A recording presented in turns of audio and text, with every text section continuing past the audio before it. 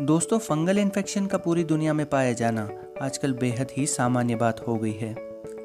किसी भी इंसान को फंगल इन्फेक्शन की समस्या तब होती है जब कोई फंगस शरीर के किसी खास हिस्से पर कब्जा जमा लेता है और हमारे शरीर का इम्यून सिस्टम उससे निपटने में सक्षम नहीं होता। और इसीलिए हमें एंटी फंगल मेडिसिन का सहारा लेना पड़ता है, जैसे टैबलेट, कैप्सूल, ऑइनमेंट्स या फिर क्रीम्स। फंगस, बारिश या नमी के समय पर सबसे ज़्यादा एक्टिव होते हैं। इसीलिए अगर आप भी फंगल इन्फेक्शन से परेशान हैं तो ध्यान रहे कि आप गीले बिल्कुल भी ना रहें। दोस्तों, इस वीडियो में हम जानेंगे मैनकाइंड कंपनी के कैंडी फोर्स कैप्सूल के बारे में सारी जानकारी, जैसे कि इसमें क्या मिला हुआ है, ये कैसे काम करती है, इसे लेते समय हमें डाइट में क्या लेना चाहिए और क्या नहीं, इसके साइड इफ़ेक्ट्स क्या क्या हो सकते हैं, इस मेडिसिन को हमें कैसे और कब तक लेना चाहिए कि ये इन्फेक्शन हमें वापस ना हो। और आखिर में हम जानेंगे इस कैप्सूल से जुड़ी हुई गलत जानकारियाँ जिस वजह से ये लोगों पर पूरी तरह काम नहीं कर पाती।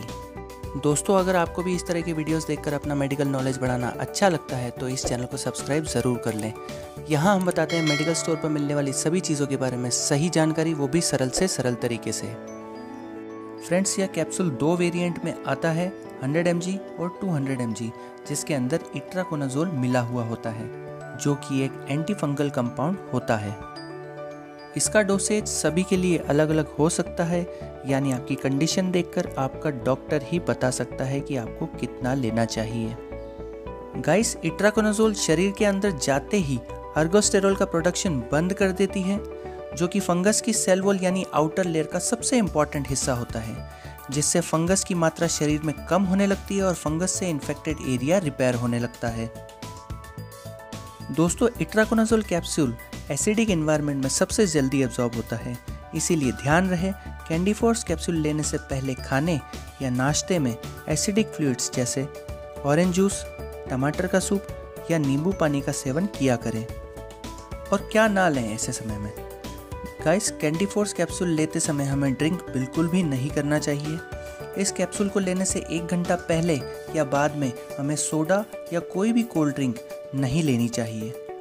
किसी भी तरह के बीटा ब्लॉकर्स यानी रेनिटिडिन जैसे एसिलॉक जिंटेक फेमोटिडिन सेमेटिडिन या फिर एसिडिक पंप इनहिबिटर जैसे ओमेप्राजोल जैसे ओमी ओमिडी pantoprazole DSR rabeprazole DSR lansoprazole या फिर लीवोसल्प्राइड टैबलेट या कैप्सूल का सेवन बिल्कुल भी ना करें, जिससे शरीर में फंगस बढ़ने की स्थिति बन जाती है। गाइस कैंडी फोर्स कैप्सूल को हमें जनरली खाने या नाश्ते के बाद लेने की सलाह दी जाती है। इस कैप्सूल को लेने के दौरान हमें पानी ज़्यादा से ज़्यादा पीना चाहिए, जिससे हमारी स्किन हाइड्रेटेड रहती है। इस कैप्सूल को शुरू करने के दो से तीन दिन में ही हमें नतीजे देखने को मिल जाते हैं। फंगल इन्फेक्टेड एरिया क्लियर होने के साथ ही हमें गलत फहमी हो जाती है कि इन्फेक्शन पूरी तरह से ख़त्म हो गया है।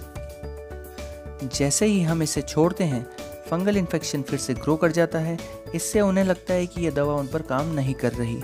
इसे हम कहते हैं रिकरिंग फंगल इन्फेक्शन इसीलिए हमें इस कैप्सूल को छोड़ने से पहले अपने डॉक्टर या फार्मासिस्ट से सलाह ज़रूर करनी चाहिए।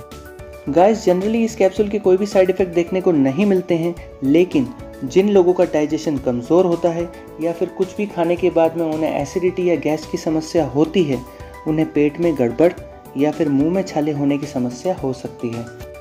दोस्तों, अगर ये वीडियो अच्छा लगा हो तो इसे लाइक और शेयर करना बिल्कुल ना भूलें। और इसी तरह की वीडियोस आगे देखने के लिए हमारे चैनल अपना डॉक्टर को सब्सक्राइब भी ज़रूर कर लें। मैं मिलूँगा आपको किसी नए वीडियो में नई जानकारी के साथ। तब तक अपना ध्यान रखिए।